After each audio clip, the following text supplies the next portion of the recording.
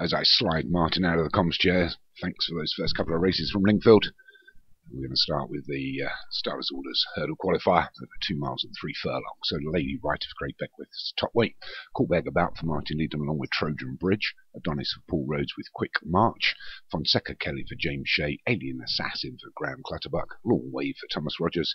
Henry Crime for James Shea. Tom's Return for Obi-Wan. Signatory Oki for Thomas Rogers. And Mentalia and Max for Alex Cherry make up 13.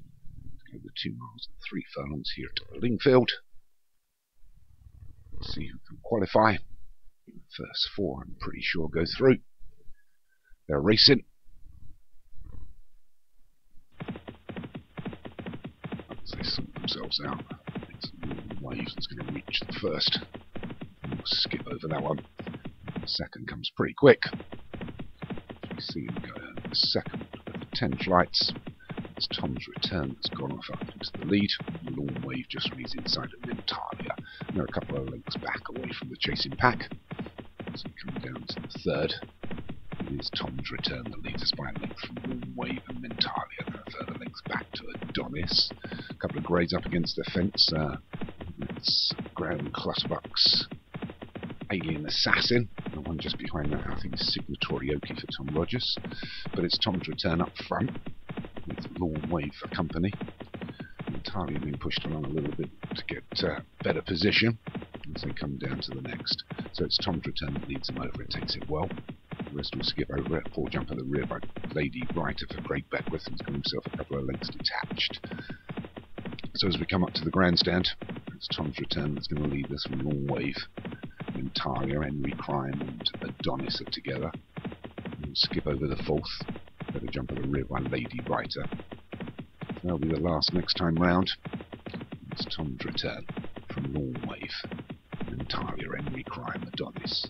Links back to Fonseca, Kelly, Max, Alien Assassin against the fence. Quick marches in there. Uh, how wide is Coolbeg, Coolbeg about for Martin Leader? Ray, Signatory Oki against the fence is Trojan Bridge, also for Martin Leadham. Lady Writer has got himself back to the end of the pack. So with over a mile and a quarter still to run, it's Tom's return from Lawn Wave. And Tyler and Henry Crime has been pretty much that throughout. And it's Tom's return still leads us. I'm not sure if we uh, should allow, uh, this is a bit of a personal thing, for starters order 7, as they come down to the 5th. I think if you're already qualified for the for the finals, I'm not sure whether you should uh, run again. Um, there's a few horses, I think we've probably all done it. So obviously we like to have a runner and it's also a 0 to 120 handicap.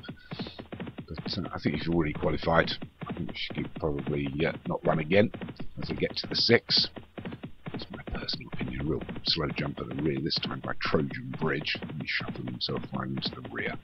But up front is still Tom's return from Lawn Wave. Now length or so back to Mentalia and Adonis. In between those is Henry Crime. The grab against the is Alien Assassin. Out wide of that is Max Alex Cherry. Wider still is, I think that's uh, Quick March. No, it's Signatory Oki, isn't it? Quick March. Uh, further length back to Coolbeg about has made up some ground and had to go wide as they get to the seventh. On a couple of mistakes there, Max didn't get over it particularly well, but still the leader is Tom's Return, being chased down by James Shea's horses of Henry Crime and Long Wave of Thomas Rogers. Out wide is, I think, oh, it's got a little bit confusing for me now, Alien Assassin, but Tom's Return I can still see in the front for Obi-Wan, leads by half a length from Henry Crime. On his, his wide outside is Adonis, Alien Assassin is between horses up against the fence, and the red cap is Long Wave. Alex Cherry's Max is making up a bit but on the wide outside is Trojan Bridge for Martin Leader. He's pulling along quick march, but it's still Tom's return. They've got to catch. Tom's return by a length and a half on the wide outside. Here comes Trojan Bridge as they line up, and it's Tom's return.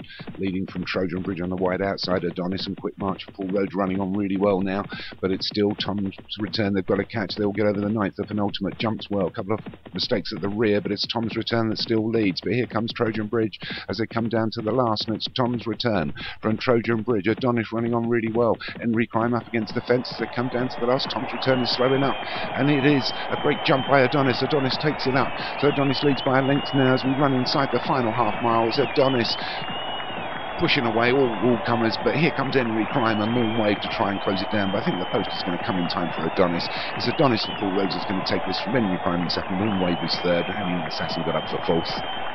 I think uh, Adonis is one of those that's already qualified. So, uh, as I said